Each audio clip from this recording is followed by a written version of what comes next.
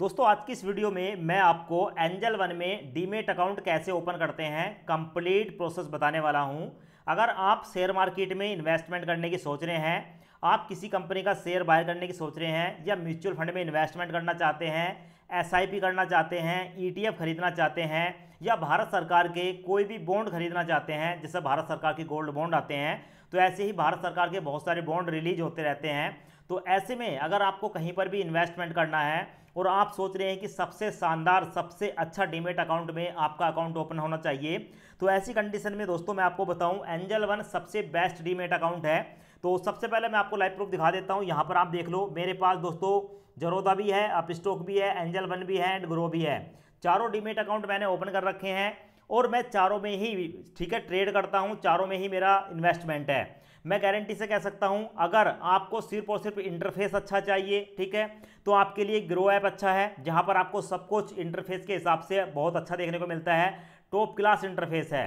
पर जब हम बात करते हैं टैक्स की, ठीक है, जब भी आप कोई स्टॉक बाय करते हैं या ई बाय करते हैं तो सबसे ज़्यादा चार्जेस दोस्तों ग्रो ऐप में लगते हैं। अगर हम बात करेंगे सबसे अच्छा ऐसा डीमेट अकाउंट जहाँ पर आप स्टॉक बाय करते हैं या ईटीएफ e बाय करते हैं और जहाँ पर आपको मामूली सा चार्ज लगे तो ऐसी कंडीशन में दोस्तों आपके लिए एंजल वन डीमेट अकाउंट सबसे शानदार है, क्योंकि एंजल वन डीमेट अकाउंट में सबसे कम चार्जेस लगते हैं। तो एंजल वन में अपना डीमेट अकाउंट ओपन करने के लिए सबसे पहले आपकी जो एज है, वो 18 प्लस होनी चाहिए 18 साल कंप्लीट होनी चाहिए। आपके पास अपना आधार कार्ड होना चाहिए, पैन कार्ड होना चाहिए और भारत के किसी बैंक में आपके पास एक सेविंग अकाउंट होना चाहिए। और ये सब कुछ अगर आपके पास है तो आप वीडियो के डिस्क्रिप्शन में आपको एक लिंक मिलेगा, उस लिंक पर क्लिक करेंगे। अब जैसे ही आप लिंक पर क्लिक करेंगे, आपको एंजल वन का जो ऐप है, वो देखने को मिल जाएगा। फाइव में से फोर पॉइंट थ्री की रेटिंग है। आपको देखने को मिलेगा इंस्टॉल वाला ऑप्शन इंस्टॉल पर क्लिक करेंगे। जैसे क्लिक करेंगे दोस्तों, यहाँ पर जो है एंजल वन इंस्टॉल हो चुका है ओपन पर क्लिक करेंगे। अब उसके बाद आपको देखने को मिलेंगे दोस्तों, दो option log in and sign up तो पहली बार यहाँ पर अपना अकाउंट क्रिएट कर रहे हैं साइन अप पर क्लिक करेंगे। अब उसके बाद हमारे सामने एवल इंटरफेस आएगा। यहाँ पर आपको अपना मोबाइल नंबर डालना है। मोबाइल नंबर डालेंगे एंड नेक्स्ट पर क्लिक करेंगे। उसके बाद आपके सामने एवल इंटरफेस आएगा। यहाँ पर आपको कुछ परमिशन को अलाउ करना होगा। ग्रांट परमिशन पर क्लिक करेंगे। उसके बाद परमिशन को अलाउ कर देंगे। अब उसके बाद आपके मोबाइल नंबर पर एक ओटीपी आएगा। ओटीपी यहाँ पर डालकर नेक्स्ट पर क्लिक करेंगे। अब उसके बाद आपके सामने एवल इंटरफेस आ जाएगा। यहाँ पर आप फिर से नेक्स्ट पर क्लिक करेंगे। अब उसके बाद आपके सामने एवल इंटरफेस आएगा। यहाँ पर आपका मोबाइल नंबर देखने को मिलेगा। यहाँ पर आप अपना फुल नेम डालेंगे और फुल नेम डालने के बाद नेक्स्ट पर क्लिक करेंगे। अब उसके बाद आपके सामने आएगा add your email address to start KYC verification continue with Google पर क्लिक करेंगे और आपकी जो भी जीमेल आईडी है वो यहाँ पर देखने को मिल जाएगी।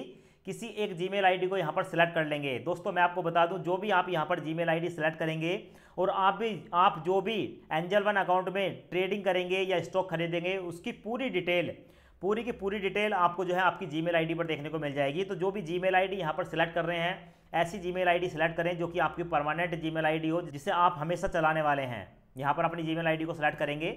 कंटिन्यू विद गूगल पर क्लिक करेंगे।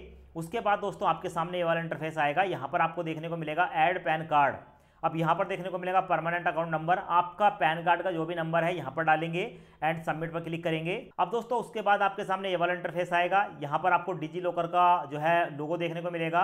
नीचे आपको बताया गया है कि भाई यहाँ पर जो आपका आधार कार्ड पैन कार्ड लिया जाएगा, वो डिजी लॉकर के माध्यम से लिया जाएगा। यहाँ पर आप देख भी सकते हो, दोनों जगह टिक लगे हुए हैं आधार कार्ड पैन कार्ड पर।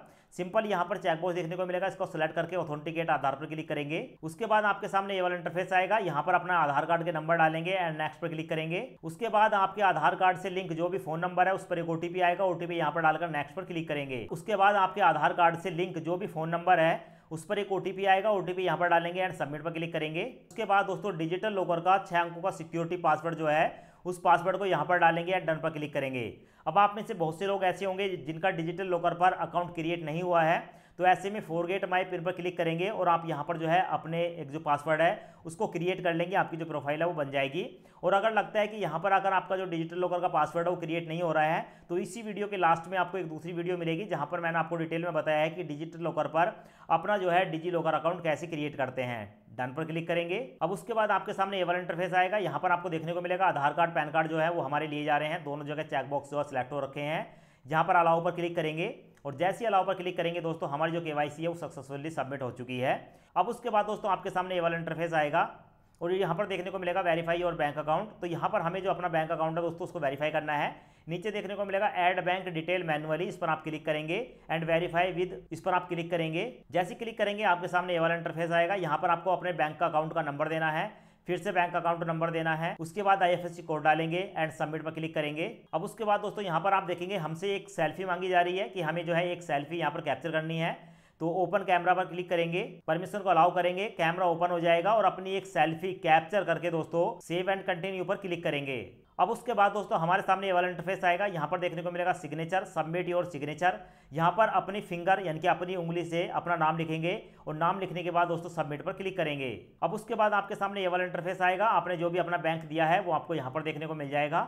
उसके बाद यहाँ पर आपको ऑप्शन देखने को मिलेगा प्रोसीड प्रोसीड पर क्लिक करेंगे। और यहाँ पर दोस्तों आपके मोबाइल नंबर पर एक ओटीपी आएगा ओटीपी यहाँ पर डालकर कंफर्म पर क्लिक करेंगे। अब उसके बाद दोस्तों आपको देखने को मिलेगा लिंक एंड प्रोवाइड कंसेंट इस पर आप क्लिक करेंगे। और जैसे क्लिक करेंगे दोस्तों आपके मोबाइल नंबर फिर से एक ओटीपी आएगा ओटीपी यहाँ पर डालकर सबमिट कन्फर्म पर क्लिक करेंगे। अब उसके बाद दोस्तों आपके सामने वाला इंटरफेस आएगा, यहाँ पर देखने को मिलेगा एनुअल इनकम डिटेल आप एक साल के अंदर कितना पैसा कमा लेते हैं, ठीक है? वो इनकम आपको यहाँ पर बतानी है। तो आप इसमें से कुछ भी बता सकते हैं, एक से लेकर पाँच लाख, पाँच से दस लाख, ठीक है? कोई सा भी एक पर जो है आप क्लिक करेंगे। क्लिक करने के बाद नेक्स्ट पर क्लिक करेंगे। अब उसके बाद आपके सामने ये वाला इंटरफेस आएगा सिलेक्ट एम्प्लॉयमेंट टाइप यहाँ पर आप जो है अपना एम्प्लॉयमेंट टाइप बताएँगे, यानी कि आप गवर्नमेंट जॉब करते हैं तो गवर्नमेंट में सिलेक्ट करेंगे प्राइवेट सेक्टर में जॉब करते हैं प्राइवेट आपका अपना कोई बिज़नेस है तो बिज़नेस पर क्लिक करेंगे। और अगर आप इनमें से तीनों में नहीं आते हैं तो आप अदर पर सिलेक्ट करके, ठीक है, यहाँ पर जो है दोस्तों, पहले वाले पर आपको जो है टिक बॉक्स देखने को मिलेगा, और उसके बाद नेक्स्ट पर क्लिक करेंगे। उसके बाद हमारे सामने ये वाला इंटरफेस आएगा एडिशनल डिटेल यहाँ पर अपने फादर का नाम बताना है। अपना जेंडर मेल फीमेल क्या हमारा जेंडर है सेलेक्ट कर लेंगे। मैरिटल स्टेटस हमारी शादी हुई है तो मैरिड शादी नहीं हुई है तो अनमैरिड और डाइवोर्स हुआ है तो डाइवोर्स पर क्लिक करेंगे, और उसके बाद प्रोसीड पर क्लिक करेंगे। उसके बाद दोस्तों, यहाँ पर हमसे पूछा जाता है कि add up to three nominee for your account do you want to add nominee now तो मैं आपको बता दूँ दोस्तों, वैसे तो आप यहाँ पर अपना नोमनी जो है वो ऐड कर सकते हैं, पर सबसे पहले आप अपने अकाउंट को क्रिएट कर लें। अब जब आपका अकाउंट बन जाएगा तो उसके बाद कभी भी, ठीक है, आप अपने नोमनी को एक मिनट के अंदर जो है यहाँ पर ऐड कर सकते हैं। तो डू इट लेटर पर क्लिक कर देंगे और आप जो है बाद में अपने नॉमनी को ऐड कर लेंगे। उसके बाद यहाँ पर आपको देखने को मिलेगा preview your KYC application form यहाँ पर देखने को मिल जाएगा प्रोसीड टू ई साइन पर क्लिक करेंगे। उसके बाद यहाँ पर लोडिंग स्टार्ट हो जाती है और हमारे सामने ये वाला इंटरफेस आता है। अब यहाँ पर देखने को मिलेगा एंजल वन के ठीक है? हमें जो है यहाँ पर अपनी के करनी है। एंटर योर आधार नंबर हमें फिर से अपना आधार कार्ड का नंबर डालना है और उसके बाद दोस्तों आधार कार्ड का नंबर डालेंगे। नीचे आपको देखने को मिलेगा send O T P send O T click करेंगे। हमारे मोबाइल नंबर पर एक ओ टी आएगा ओ टी यहाँ पर डालेंगे एंड वेरीफाई पर क्लिक करेंगे। और उसके बाद आप देखेंगे दोस्तों, हमारा जो है यहाँ पर, उसके बाद दोस्तों, हमारा जो है वेरीफिकेशन हो चुका है।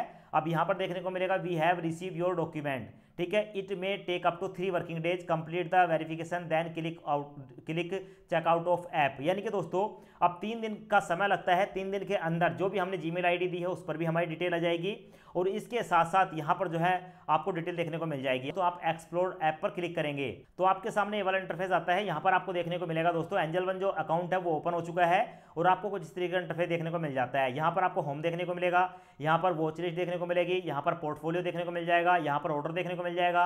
यहाँ पर सर्च करके आप किसी भी कंपनी का शेयर सर्च कर सकते हैं, जैसे कि वोडाफोन वगैरह आपको देखने को मिल रहा है, और इस तरीके से आप इन्वेस्टमेंट कर सकते हैं। तो दोस्तों, इस अकाउंट को ओपन करने के लिए इस ऐप का डायरेक्ट लिंक आपको वीडियो के डिस्क्रिप्शन और कमेंट्स बॉक्स में मिल जाएगा। आशा करते हैं ये वीडियो आपको पसंद आया होगा। वीडियो पसंद आया हो वीडियो को लाइक करें और चैनल को सब्सक्राइब ज़रूर करें।